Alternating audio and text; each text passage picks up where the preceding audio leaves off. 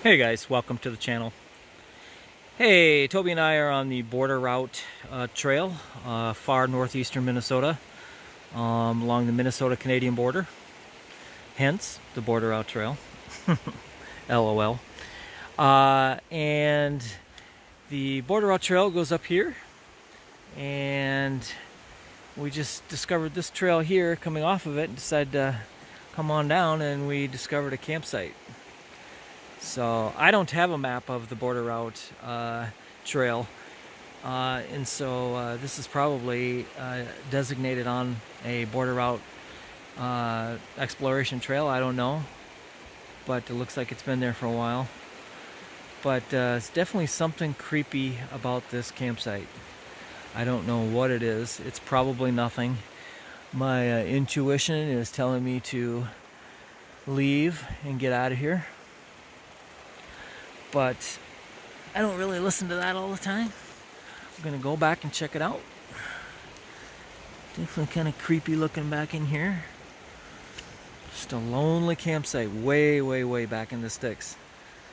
The uh, if you were to follow the uh, Pigeon River here uh, north, uh, South Fowl Lake's about a mile up there, I suppose, roughly about a mile.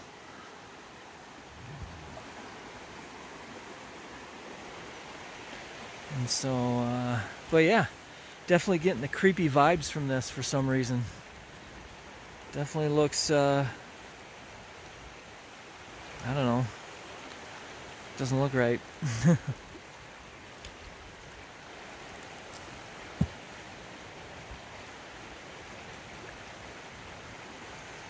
I don't know, you guys watching this video, have you guys camped here? What are your experiences here? Have you seen this campsite before? It's about a mile south uh, of the uh, of South Fowl Lake on the Border Route Trail. And as far as I know, it's the first campsite that we've passed. I don't know, there may be others, but uh, this is the first trail to a campsite we noticed off of the Border Route Trail.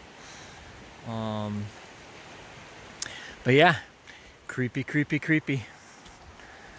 I don't like camping by rivers. I don't know about you guys, but uh, I like to be able to hear uh, you know, of uh, possible approaching wildlife or whether it be bears or moose or something like that, you know. And with the river always making a, you know, a ruckus, uh, you can't hear any anything going on. And so that's why I don't like to camp alongside rivers. I like to be nice and quiet, nice and peaceful, and you can't hear anything.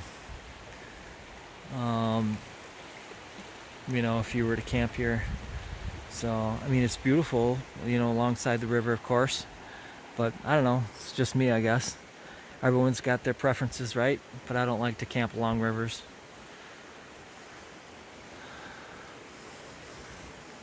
Creepy, creepy, creepy. Don't know.